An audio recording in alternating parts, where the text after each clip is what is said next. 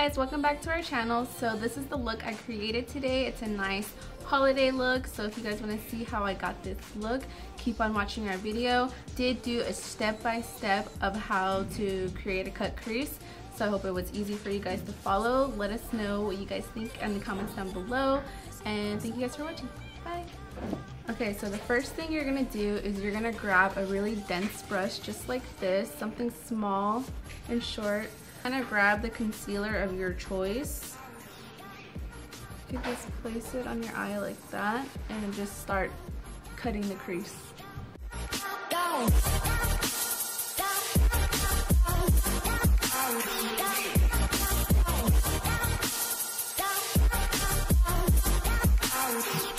Super super easy work in small sections at a time don't just go and drag it because if you do that uh, like you might mess up and it's gonna be kind of hard to fix that.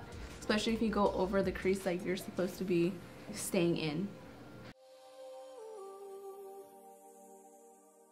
Really enhance the crease is take like a liner brush and then take the dark color that you were using. So I was using a black and just kind of go over the line. It's really going to enhance the cut crease. It's just going to make it look so much better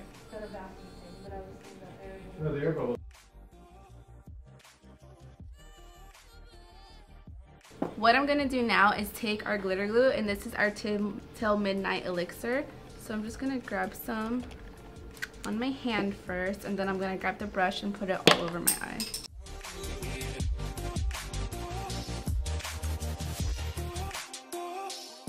Once you've applied it, you're going to want to let it dry a little and get it a little tacky before you apply the glitter. And the glitter I'm going to be using is Gold Rush.